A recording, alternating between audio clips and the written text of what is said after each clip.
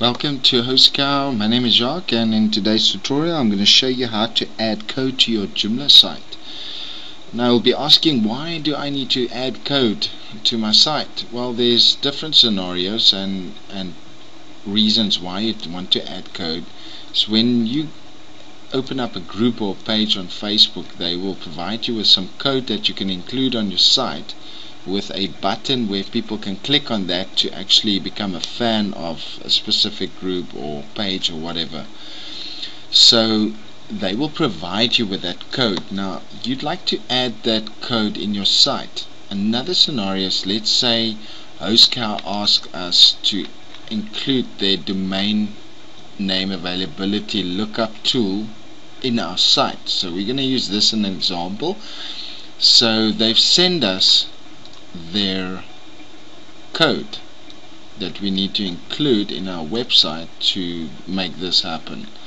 Okay so let's copy their code and we go to our Joomla page and we're going to create a new module position. So you'll go to extensions module manager and let's say we'd like to include that domain lookup tool over here. So that's the top position and we will create a new module position. We're going to say custom HTML we're going to go next. And we say domain lookup. And remember it's the top position. And we like to assign this feature to all the pages. It's fine like that. So we can just click apply. And now we're going to include the code over here. So we'd like the code to go here. So you won't go right click and paste it in here. That won't work. You will have to include it in the HTML so you'll click on HTML and this is the HTML source editor and you paste the code in here. You click on update right once you've done that this is a form code so this will this will still work but some codes like script codes won't work here. So I'm going to show you how to enable this feature that all scripts can work here. So let's apply this for now. We can save it.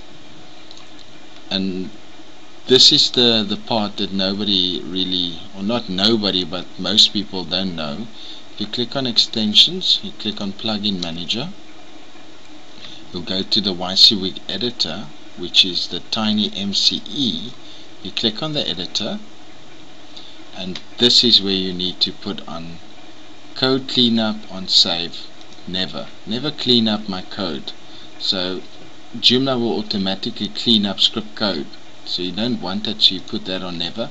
Code cleanup on startup startup you say on off you don't want that to, to be clean and then you leave it like that and you click on save.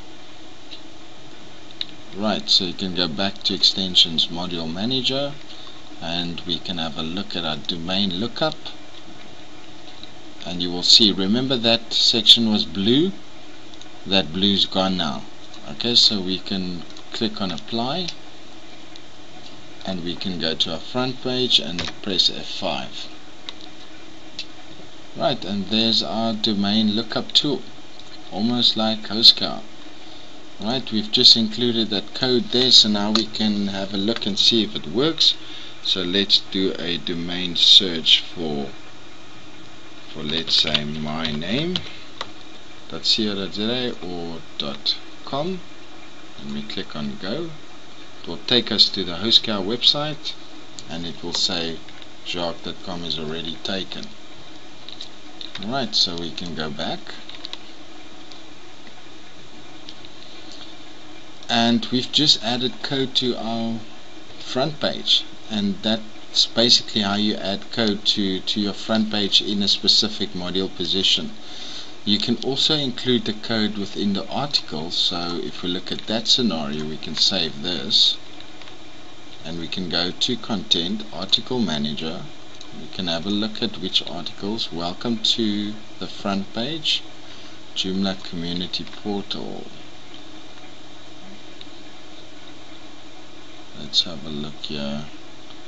which one you'd like to edit welcome to Joomla let's take this one oh Joomla community portal let's go to Joomla community portal yes Joomla community portal and now we're going to include the code over here as well. So let's go in here.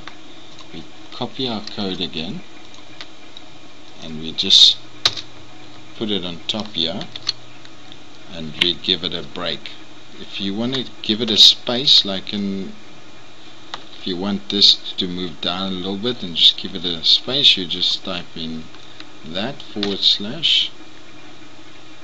Sorry it's just BR it's fine you can just do it like that right and there it's included in there as well so let's click on save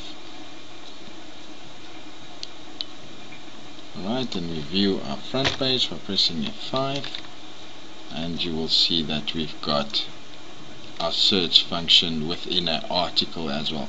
So I've showed you how to include scripting within a module position and I've showed you how to include scripting within your article. Well that covers how to add code to your Joomla site. Um, we'll be bringing out more tutorials soon. Watch this space. Thank you for watching. Take care. Have a nice day. Bye.